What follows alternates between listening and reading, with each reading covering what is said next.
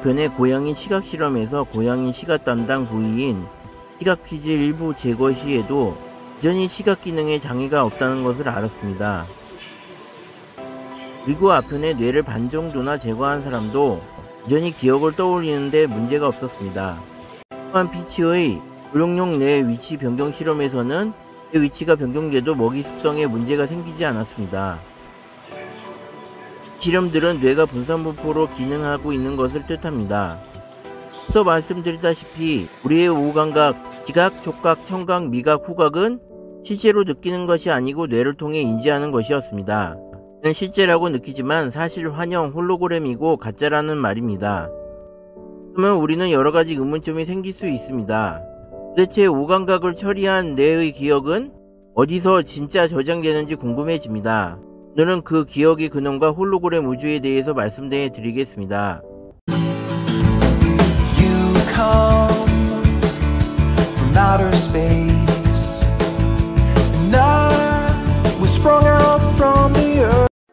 앞전에 설명드리다시피 뇌가 분산부포로 기억을 저장한다는 것은 이 자체의 기억이 저장되지 않는다는 것인데요. 홀로그램 우주론에서는 기억이 우주에 전반적으로 퍼져 있다고 합니다. 메커니즘에 대해서 한번 쉬운 예로 들어보겠습니다. 이 핸드폰이 있습니다. 그런데 우리는 유튜브를 항상 즐겨보고 있습니다. 근데 우리 유튜브의 동영상이 우리 핸드폰 속에 저장되어 있나요? 입니다. 또는 인터넷으로 연결되어 있습니다. 5G든 LTE든 4G든 그 인터넷으로 연결되어 있습니다. 또 유튜브 동영상은 핸드폰 내에 동영상이 없는데도 구독이 됩니다. 그 이유는 동영상은 서버 내에 있고 단지 핸드폰은 인터넷을 통해 동영상을 불러오는 것 뿐입니다. 사실은 우리의 기억도 뇌 속에 있는 것이 아니라 꽤 무한한 공간에 기억이 저장되어 있고 또의 주파수를 오감각이 나름대로 방식으로 해석한 후 우리의 뇌가 정리하여 불러오게 하는 것이라고 볼 수 있습니다. 그렇다면 이런 기억이 우주에 있다는 증거는 무엇이 있을까요? 엉뚱하게 생각될지 모르겠지만 psychometry라는 일종의 초능력 현상에서 찾아볼 수 있습니다. psychometry란 영화에서도 가끔씩 등장했지만 물건에 손을 대면 그 물건을 소유했던 사람과 관련된 영상을 떠올리는 현상입니다. 현상은 나름대로 유명해서 TV에도 가끔씩 등장했었습니다. 라라는 psychometry 능력자에 대해 간략히 말씀해 드리겠습니다. 라 존스는 어느 날 그림 도난 사건을 다룬 뉴스를 본 뒤 갑자기 눈에 환영이 펼쳐졌다고 합니다.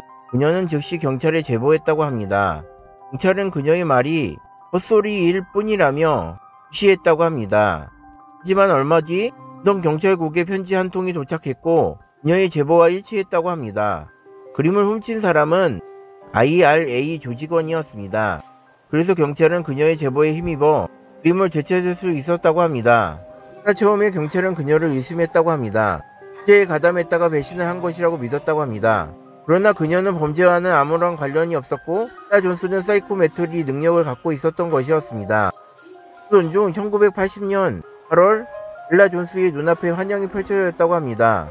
이를 또다시 경찰에 알렸고 살인사건이 일어날 것이라고 경고했었습니다. 그러나 모두 그녀의 말대로 살인사건이 벌어졌다고 합니다. 그래서 이번에는 경찰은 넬라 존스의 능력을 믿게 되었다고 합니다. 살인범을 검거하는데 그녀의 도움을 받기로 했고 1981년 경찰은 살인범을 검거했습니다. 또 결국 경찰은 넬라 존스에게 앞으로 지속적으로 도와줄 것을 요청했다고 합니다. 또 그녀는 많은 사건을 해결했고 1996년 넬라 존스는 은퇴의 뜻을 밝혔다고 합니다. 그뒤 런던 경찰국은 22년 만에 대중에게 그녀의 존재를 공식적으로 인정했다고 합니다. 사이코메트리라는 능력은 어떤 사람에게는 믿거나 말거나일지도 모릅니다. 그러나 분명한 것은 사실이라면 어떻게 물건에 손을 갖다 대면 물건의 소유자의 정보를 읽어낼 수 있냐는 것입니다. 그것은 현대과학으로는 미스테리입니다. 홀로그램 우주론에서는 설명 가능합니다. 즉 넬라가 손을 갖다 대면 단순히 촉감을 느끼는 것이 아니라 손으로 그 물건을 소유하고 있는 물건 자체의 에너지 파동의 공간의 흔적, 기록을 찾아내는 것이라고 설명드릴 수 있습니다. 손으로 찾아낸 시공간의 기억 에너지를 알고 뇌로 전달하여 이미지한 것이라고 볼 수 있습니다. 일반인보다 예민하여 손으로도 과거 미래 시공간의 흔적을 찾아내는 것일지도 모르겠습니다. 또 말씀드리다시피 우리의 기억이 뇌 속에 저장되는 것이 아니라 인터넷 같은 시공간의 에너지로 연결되어 있고 우주의 시공간의 기억 및 과거, 현재, 미래가 기록되어 있어 psychometry가 가능한 것이라고 생각됩니다.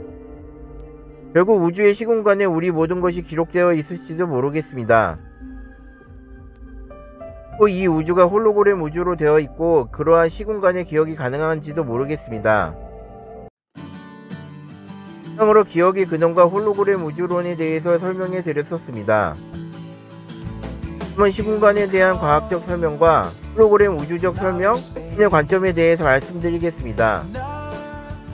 끝까지 시청해 주셔서 감사합니다. 좋아요와 구독을 꼭 눌러주세요.